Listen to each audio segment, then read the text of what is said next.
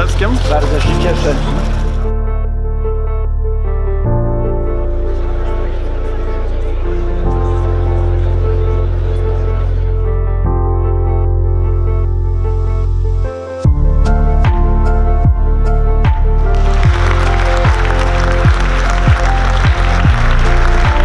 Polacy i Litwini kierując się zasadą wolni z wolnymi, równi z równymi, zawarli w 1569 roku równoprawny związek obojga narodów, stając się w pewnym sensie prekursorami, prekursorami Unii Europejskiej i zbudowali w ten sposób nowoczesny parlamentaryzm, który dzisiaj znajduje swój wyraz w Sejmie Polskim i Sejmie Litewskim.